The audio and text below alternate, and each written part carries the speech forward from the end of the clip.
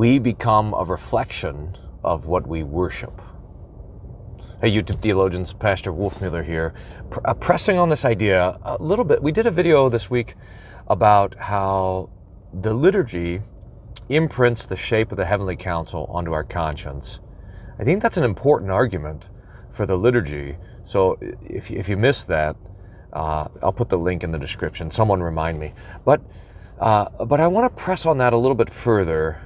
My own thinking, and, and in five years we'll come back to this and and and have it all fleshed out. But if you don't mind me helping me workshop this idea, is that we are made when when Genesis tells us that we're made in the image and likeness of God. There's an indication there that that we are made of a reflective stuff. That we are imprintable.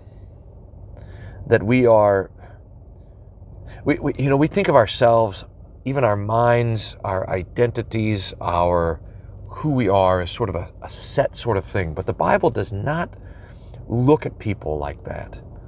And and the act of worship or the engagement of worship, the human heart, soul, mind, and strength in worship has an imprint on us.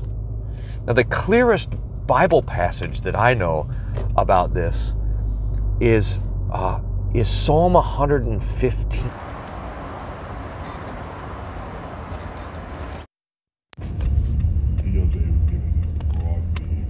Psalm 115 says, verse 3, important verse and following, But our God is in heaven, he does whatever he pleases. Their idols are silver and gold, the work of men's hands. They have mouths, but do not speak, eyes they have, but they do not see. They have ears, but they do not hear. Noses they have, but they do not smell. They have hands, but they do not handle. Feet they have, but they do not walk. Nor do they mutter with their throat. Those who make them are like them, and so is everyone who trusts in them. that is King David. And Isaiah picks up on that. Isaiah 44 I, I looked it up, I forgot. Where the parable is, it's so great. The Lord talks about how the men of Israel go and they find a nice tree and they cut it down. And with half of the tree, they make an idol and they fall down and worship it. And then with the other half of the tree, they cook dinner and grill their steaks. the foolishness of idolatry. But here's the, the impact, especially that that Psalm 115 says, is that that falling down to worship actually reshapes us. There's this old quip that in the beginning God made man in his image, and ever since man has been returning the favor. But it goes beyond that. It's not that it's not that we're like creating gods in our own image, we are, but that those gods which we create recreate us. They reshape us. They have eyes, they don't see. You worship them, you become blind. They have feet, but they don't move. You worship them, and you become stuck. Ha! Was kind of liked this sculpture.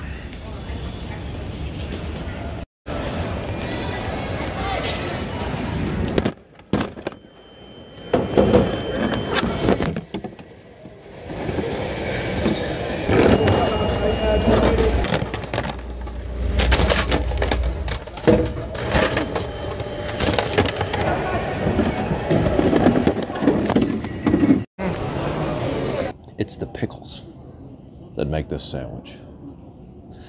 The idols are dead.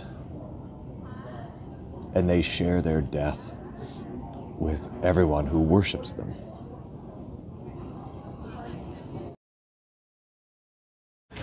The idols demand human sacrifice. That's how my professor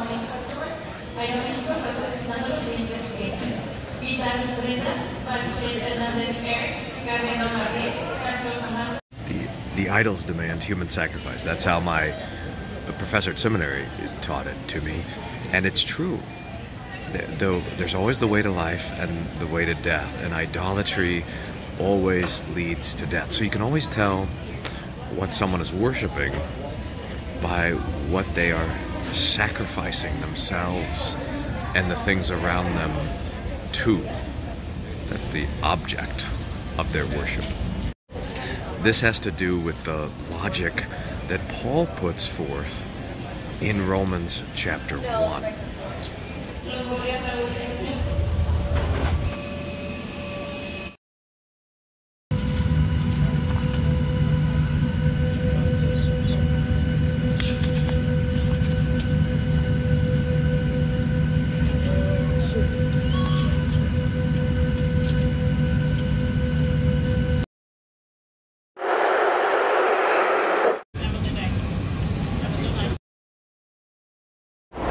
Romans 1 where the the argument is there's a word in Greek homo which means same.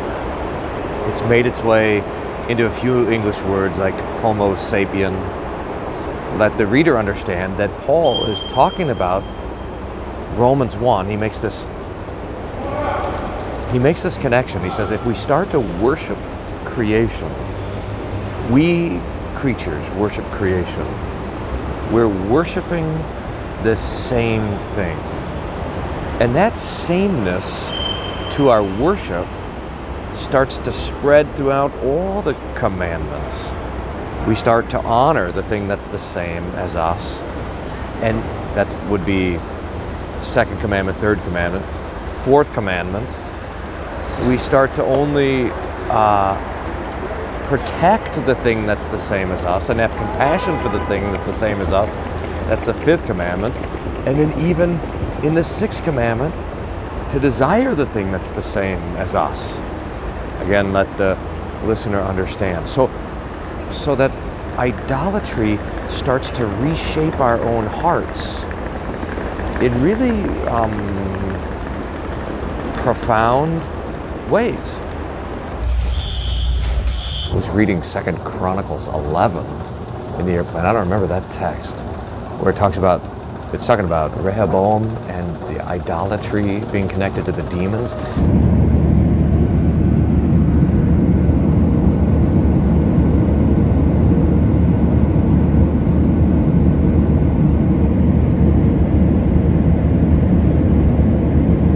That's related to Deuteronomy 32, mm, first Corinthians 10, especially Philippians 3, where, where Paul talks about how their God is their belly, their end is destruction.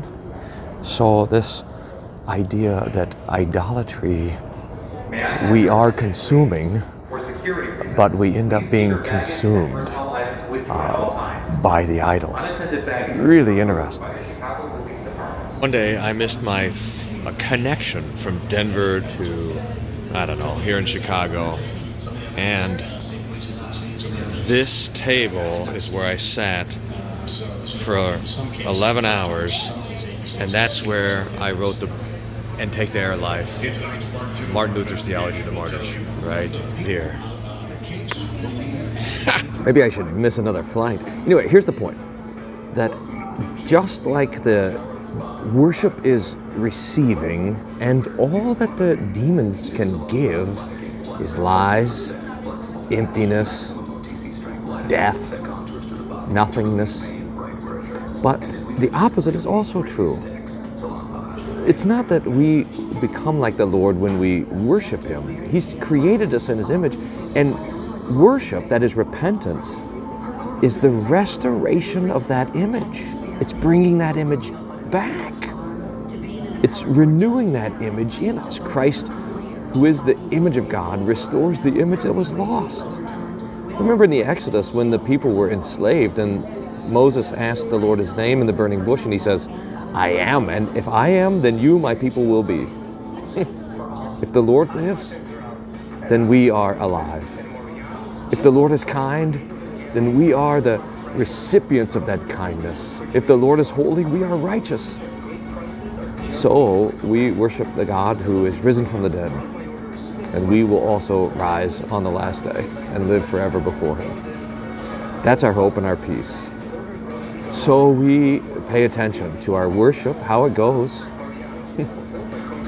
if we worship the, the dead and the, the dead and still idols and we become stuck ourselves and foolish, or when we worship the true God and He gives us life. Oh, that's what we're after. May God grant it for Christ's sake. outside security.